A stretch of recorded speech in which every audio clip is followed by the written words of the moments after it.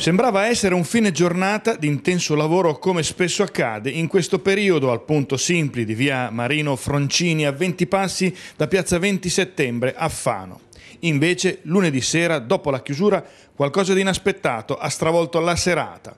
Un rapinatore armato e con il volto travisato da un passamontagna ha tentato di impossessarsi di una sacca dove secondo lui era custodito l'incasso dell'intera giornata. Tutto è accaduto in una manciata di secondi. Attorno alle 21 un addetto del negozio è uscito dalla porta di servizio del supermercato che dà su via Froncini con una sacca e si è trovato di fronte il rapinatore che ha tentato di impossessarsi della borsa, ma a quel punto nella mente dell'addetto del Simpli è scattato qualcosa, una reazione reazione distinto, fulminea, che ha colto di sorpresa il bandito per difendere ciò che in quel momento riteneva vitale.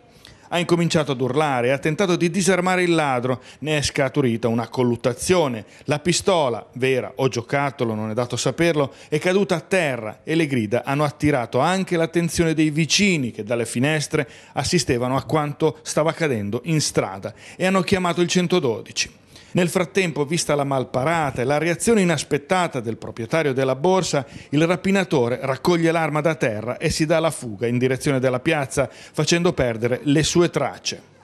Per i carabinieri del nucleo investigativo e radiomobile di Fano, arrivati sul posto, coordinati dal capitano Papale, è scattata subito la caccia all'uomo e hanno setacciato la città alla ricerca del ladro con una descrizione sommaria del suo aspetto data dai testimoni, ma di lui nessuna traccia.